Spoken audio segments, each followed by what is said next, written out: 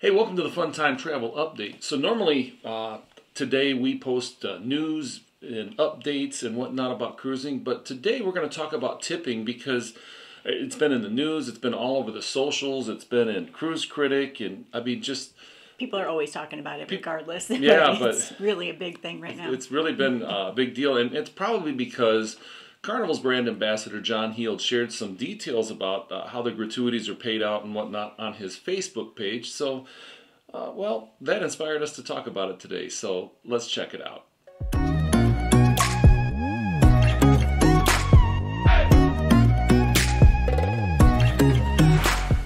The prepaid or automatic gratuities are always a hot topic of conversation. Seriously. Some people feel that they should be eliminated, others feel they should be changed and added as an additional fee to your cruise price. You know, others say that the gratuities are fine, but you shouldn't pay them in advance, that it would be better to go back to how they used to do things, which is leaving envelopes in the cabin yeah. at the end of the cruise. So, Carnival's brand ambassador John Heald shared these details uh, on how the automatic gratuities are split up between the crew members at Carnival. And to be honest with you, we suspect that this is how it's done on most cruise lines. Now, he said, the gratuities are in place to say thank you to your stateroom attendant, the waiters in the dining room, and the waiters and behind the scenes staff on Lido. We've read in the past that it can also go towards other behind the scenes staff and that it contributes towards a shared crew incidentals emergency fund. Now, the emergency fund may be to help crew members fly home if there's like a family emergency or something. I really hope that's how it works. I think that's hopefully. What, yeah. yeah. We've read that on Norwegian, table bussers and maitre d's also get a portion of the gratuities. You know, we assume that other cruise lines again work in a similar fashion.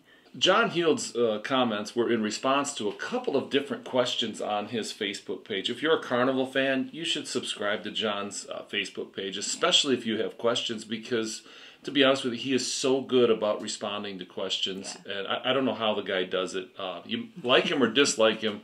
I, I, don't know many people that work as hard as he does, and uh, seems to take so much grief. But uh, that's another comment altogether. One person wanted to know how the gratuities went to their server because they had your time dining, which meant they, you know, they had a didn't have a set dining time.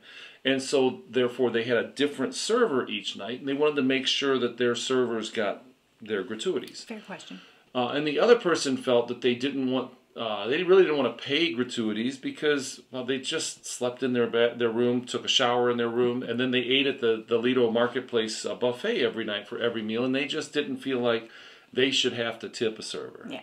We love that the Lido staff gets a portion of the gratuities since they work so hard. They really do. You know, and John also shared that the portion of your gratuities that goes to the Your Time dining staff gets pooled amongst all of the servers and they split it. You know, and the same goes for the Lido staff. Hey, while we're here, would you like this video, subscribe to our channel, and hit the notification bell so you don't miss any of our future updates? We've got some um, some cruise uh, drink package videos coming up for uh, Princess Cruise Lines we're working on, and uh, if you're a fan of Princess, well, you're going to want to see them. Okay, so let's break down how these gratuities uh, kind of get shared. Now, the portion of your gratuities that go to your stateroom attendant or to your server in the main dining room, those go directly to the person who took care of you. And then there were some questions on on John Heald's Facebook page about uh, uh, supposedly, there's rumors that there's this list out there that the servers and the stateroom attendants. Uh, it's been rumored for years that that there's a, a list that they know who uh, has not done the prepaid oh, gratuities. Yeah. They know who's done prepaid gratuities, and they know who's had their gratuities removed. And uh, according to John Heald, and to be honest with you, this makes perfect sense to me.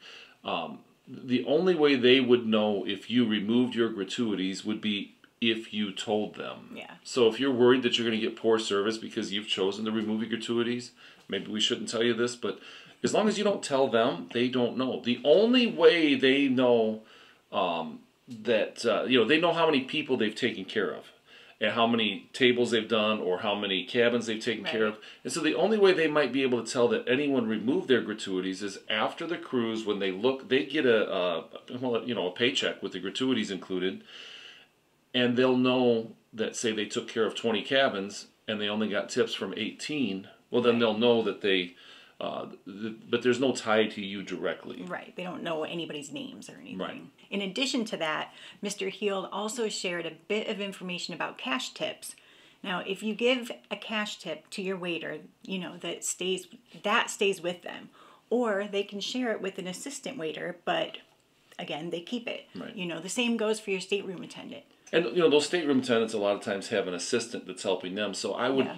I would suppose that the stateroom attendant would probably you know split tips with the Yeah. person that's helping them. But uh, you know when we've cruised, oftentimes if our stateroom attendant has an assistant, we'll give our stateroom attendant a little bit, and we'll give our you know the assistant a little bit too if we can I find can't them. remember if it was our last cruise that we just went on or the one before that, but I remember our waiter and the assistant waiter were so close and Mm-hmm. they were so good. And he, when we gave him a cash tip, the head waiter, he said, "I'll make sure that the assistant gets some of this yeah, too." I think they try to take care of each other. So why are we sharing this information here if it's out there on Facebook? Well, it was shared across several posts, and we tried to aggregate it together in one place uh, for anyone who didn't see it or hasn't been following the thread. Uh, we know that the gratuities can add a few hundred dollars to the cost of a cruise, but those gratuities go to help support a lot of people that we don't see on a day-to-day basis, and uh, having talked to some of our crew members, most of that money ends up going uh, back home to take care of extended family and you know Yeah. children, and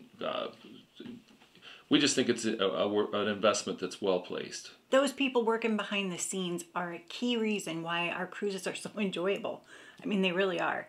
That's one reason why we won't remove our gratuities. And since we're going to pay them anyway, we love that we can prepay them so that we can budget it into our vacation. It's not just, you know, a surprise. Right. now we we typically tip a little extra to our stateroom attendant and the dining room waiter, and um, Sometimes our favorite bartenders. yeah, yeah. The the one thing we will say uh, in in defense of people who have have made some complaints about the gratuities. Uh, we have to say that as the cruise lines continue to raise the standard gratuity rates, Yeah. it really has kind of cut into how much extra we tip. You know, Yeah. we're not being um, uh, misers about it, but you know, we have a certain budget for our cruise, as I'm sure you do. And as it starts, these these raised gratuities start bumping up against our expendable money. Uh, then our, our extra tip has has kind of shrunk a little bit. Yeah. But eh, that's a subject for another day. We're cur- curious as to what you think about the gratuities. You know, were you aware that tips went to the behind the scenes workers? Do you typically tip extra, or um, have you had them remove your gratuities? And we'd love to know why. You know, there may be Yeah. cases where maybe the service was substandard and you felt the need to remove your gratuities. We, we'd love to hear why, but Yeah. uh, tell us in the comments below. So that's it for today. Thanks for watching, and we'll, see, you next time.